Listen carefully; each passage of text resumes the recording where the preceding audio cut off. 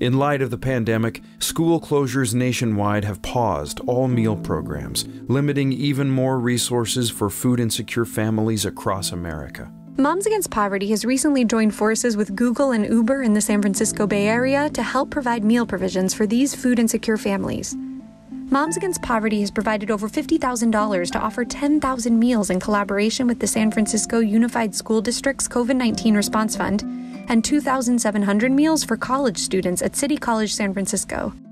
Across the country in DC, Moms Against Poverty grants have generated 20,000 meals for disadvantaged children in a joint effort with DC Central Kitchen and 400 meals through Miriam's Kitchen. We are happy to address this public funding gap and help empower schools to provide emergency meals in this unprecedented time. I just want to thank Moms Against Poverty for being such a central lifeline during this very trying time.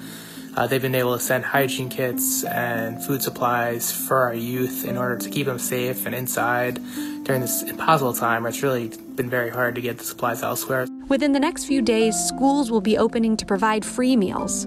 Parents whose kids have had consistent meals during the school week now have to provide up to 10 extra meals per child. Many of these parents are currently unemployed due to the temporary closing of businesses across the country. Many American families were experiencing financial difficulty long before the pandemic and are now subject to an even greater lack of resources.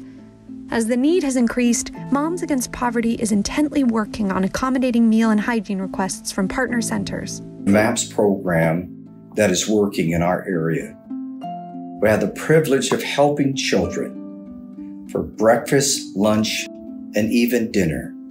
40 to 60 children per week. And your program benefits the community in a positive way. MAPS outreach programs in the U.S. were designed after researching and identifying gaps in the U.S.'s food insecurity and basic provisions management. MAP has a total of 40 plus schools, centers, and churches that have signed up for its nutrition and hygiene programs. Our country's battle against COVID 19 is only going to grow in the coming months as the pandemic leads to more business closures and higher unemployment. Please donate and join us in this effort to help our community get through these hard times. These people need your help.